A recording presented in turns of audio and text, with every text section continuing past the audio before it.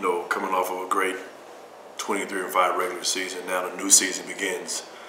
And I think the best time of the year, March Madness. And our, our guys are pretty excited about um, what's in front of us. Um, great opportunity, not just for us, but every, for every team in the league uh, to be playing.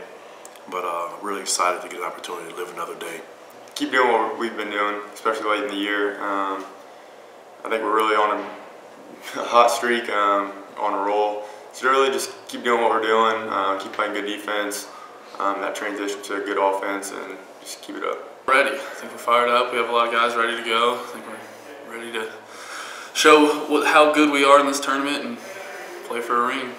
Prepared, about to go through the scout again and, and focus up and be ready to go. Played them pretty well here at our place, but they're playing good basketball.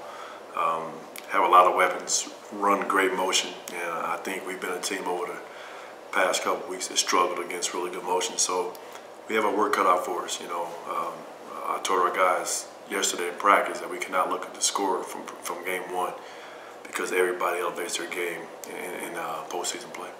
It's, it's very important to me. I mean, just to come in here, first year player, and, and uh, be an asset and be kind of fill the shoes coach wanted me to fill, talk to me through the recruiting process, and for me to fill that and to receive this award is a great honor. A lot of credit to the guys. Obviously, I can't score or get these assists without what they do. Um, also, the coaches putting us in good positions. But I think just seeing all the guys getting recognized, um, obviously, I think we could have had a lot more um, guys on the teams, the defensive teams, freshman team as well. But um, it's pretty special for our team as well.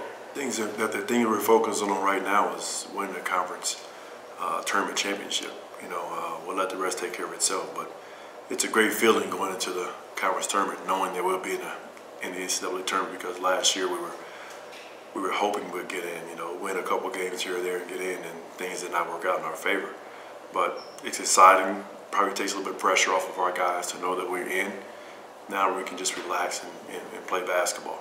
New season really started the conference tournament. Everybody's own, zero and zero. Uh, they're a good team. I mean, they made the conference tournament. They beat some good teams this year, so we're not taking them lightly. We're I think it's in the back of our minds. Everybody knows that if we take care of business in the next three games, we'll host, and it's it's a our goal. But we're taking things one game at a time for sure.